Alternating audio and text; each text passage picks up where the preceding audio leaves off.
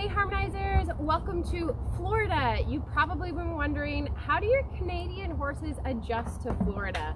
Or what's it like bringing your horses somewhere to a totally different country for three months? How do they live? What does it look like? What do you guys do? So in this video, I'm gonna take you guys around the farm, share with you some tips and tricks and some logistics about taking your horses to a completely different country for three months and how that works and uh, how my horses live during that time. So come with me and let's take a look at the horses.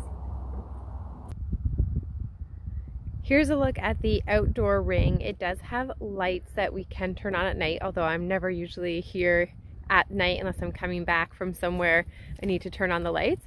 She just has the barrels because they do some barrel racing here. So in terms of amenities, the ring's pretty basic. The footing's actually a little bit on the deep side, so it's not super ideal for jumping but uh, and then the barrel's pretty basic as well. So I have to bring down all of my own jumps and poles and pedestals or anything I want to train on while I'm down here. So it does make for a very packed trailer on my end. Uh, but the ring is very very spacious lots of room here. There's also a round pen that I'll show you guys which is um, very handy. But for me most important was how my horses were going to live because I'm not here every day. They're not you know schooling five, six days a week, just three times a week typically. So the fact that my horses have that big field there, that's them in the distance with their shelter there with the hay. So they've got lots and lots of space. And then the farm itself isn't too huge. This is the driveway coming into the farm. There's a couple other pastures. So there's some other pastures here with horses in it. So there's horses on all sides, another pasture with horses. Up the driveway there is the house to the property and there's a pasture with cows in it, which is pretty cool.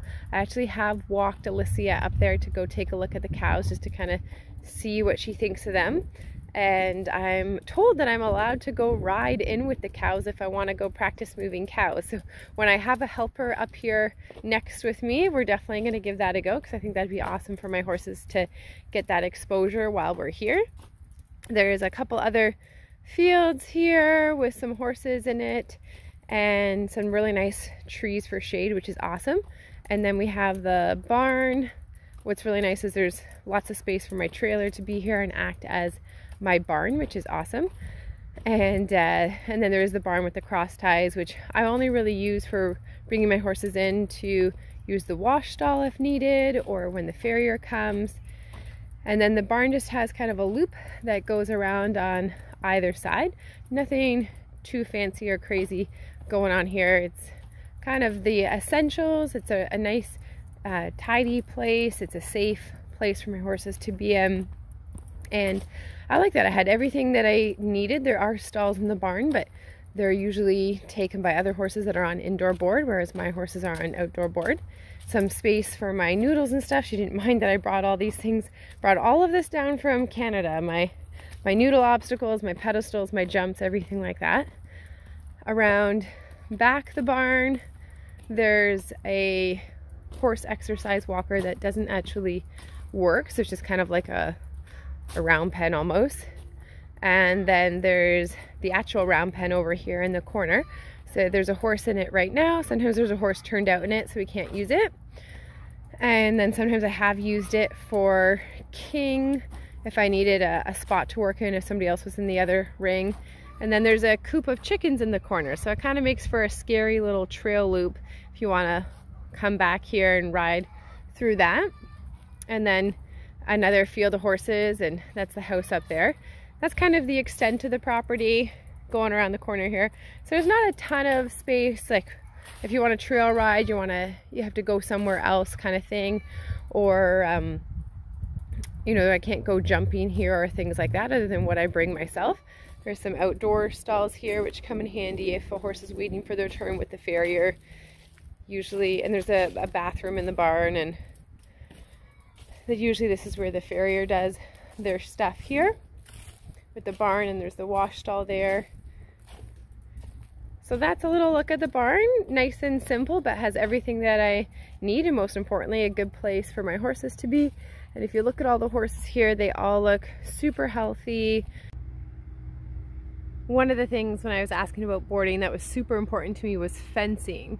and I asked, Do you have any wire fence? And she said, Yes. And she showed me a picture of the wire fence, and I saw that it was this kind of small wire fence with the wooden board on top. And I said, okay, that's actually all right because their hooves can't go into this small rectangles like that. The big square page wire fencing that you see at some farms, a lot of cow farms have that kind of fencing. Super dangerous because if a horse puts their hoof in there, they can get their whole leg caught up and the wire doesn't break. And it can sever tendons, it can sever ligaments and muscles and really hurt a horse and end up putting them in a situation where they end up being put down. But also you can see they have so much space to roam around in, uh, lots and lots of space. Right now, the grass is not super there because it's February. We've had some cold temperatures and not a lot of rain. So we're not seeing a lot of grass right now. Uh, but a lot of space to roam. My jumps that I was allowed to set up there and the horses having a shelter, super important. Lots of big shelter and then a spot for their hay to go there. All really important stuff for me. And then they have a, a water trough over there in the corner. When it comes to feeding my horses, I bring all of my supplements from home. So I still bring all my Omega Alpha with me. I've got their Biotic 8 for the uh, prebiotics. I've got the Vanitox, which is a supplement that helps gives them vitamin E and some other minerals. I've got my Equibody Glow, which is an oil that helps give them some shine and some fats. And then alfalfa pellets is what I use as my base.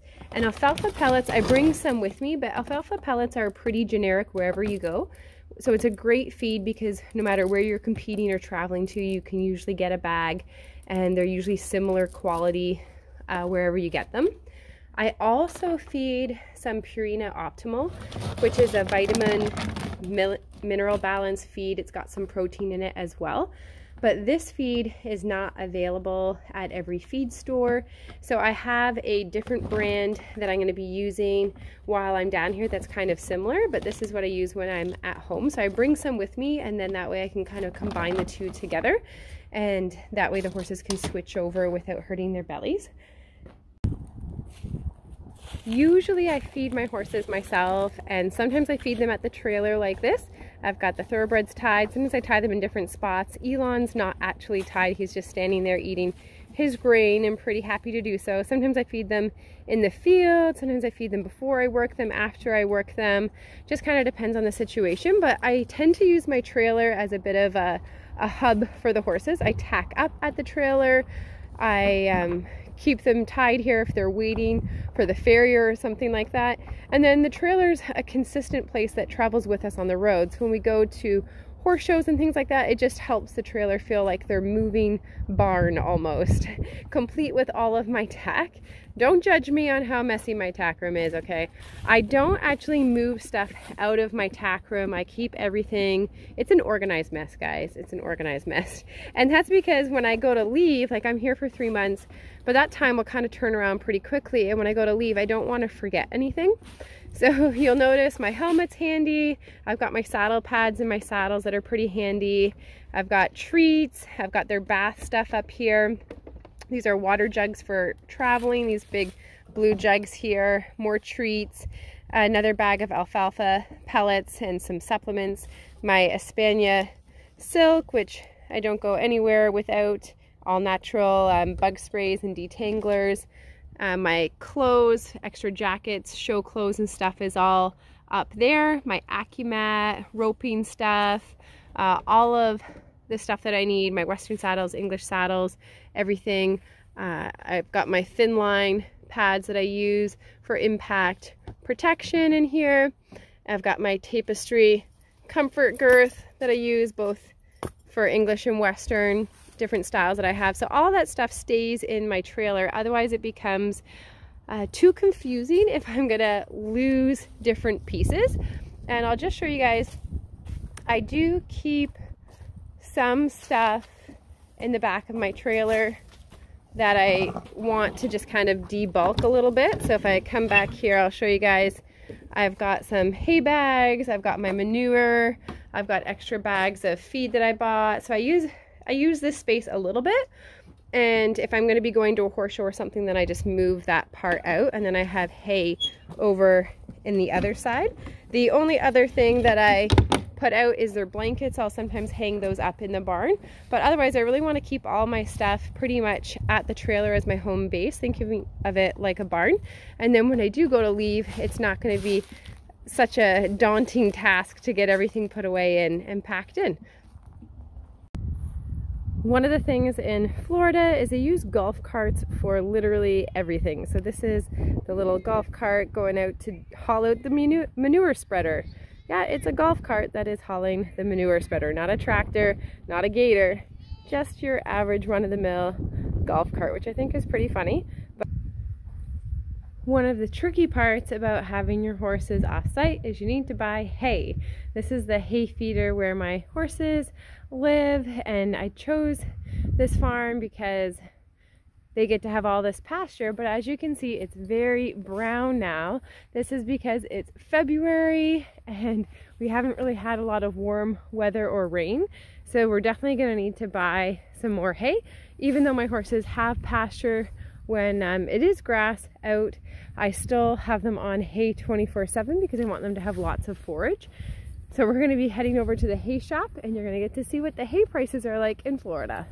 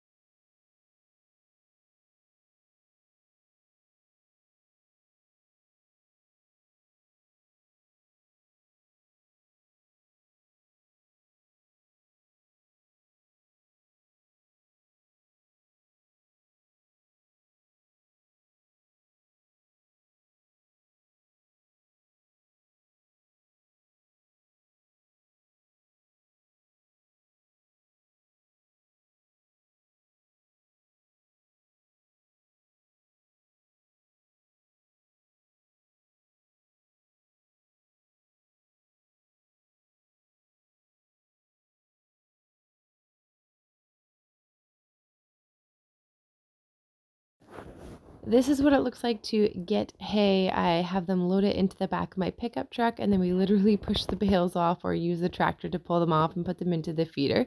This one here is a Tifton hay bale and then I'll take you guys to the feed store so you can see getting some alfalfa hay. The Tifton hay is that coarser hay. There's Connie going off in her little golf cart which she uses for virtually everything.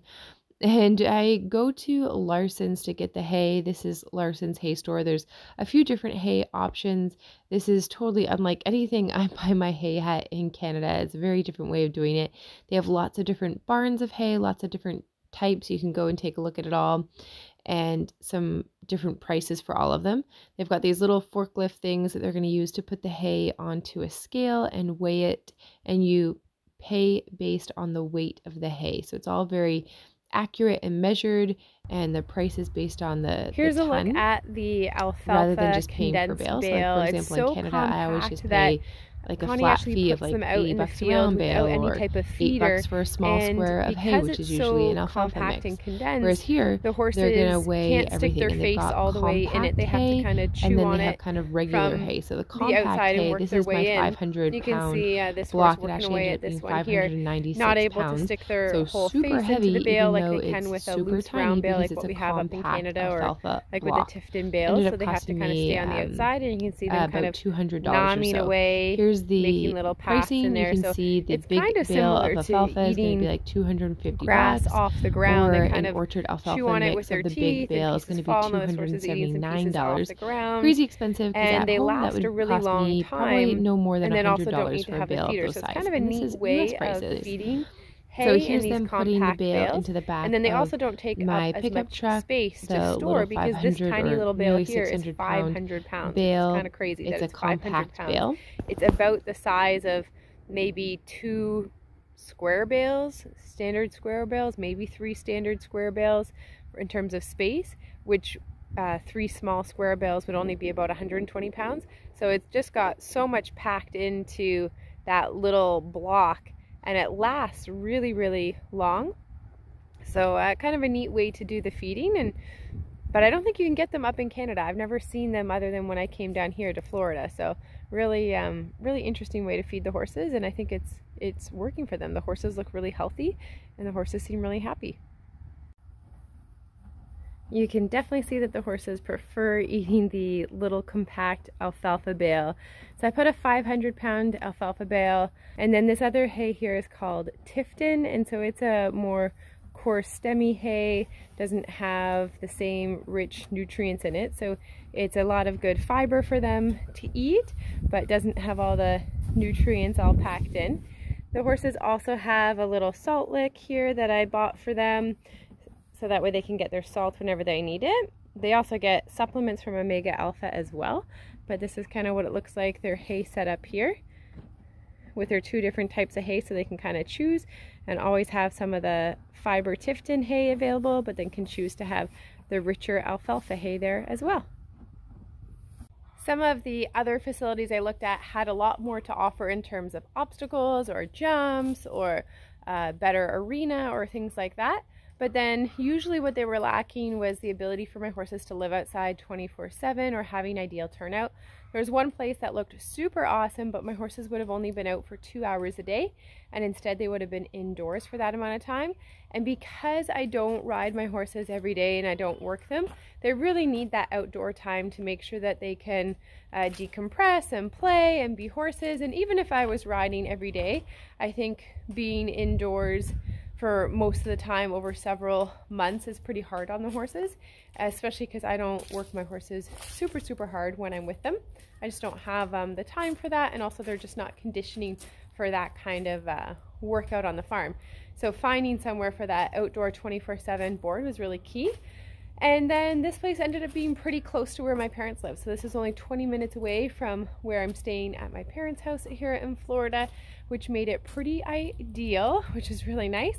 And it's also kind of convenient because it's on the way to all of the horse parks. So it's on the way to Florida Horse Park for when I'm competing there.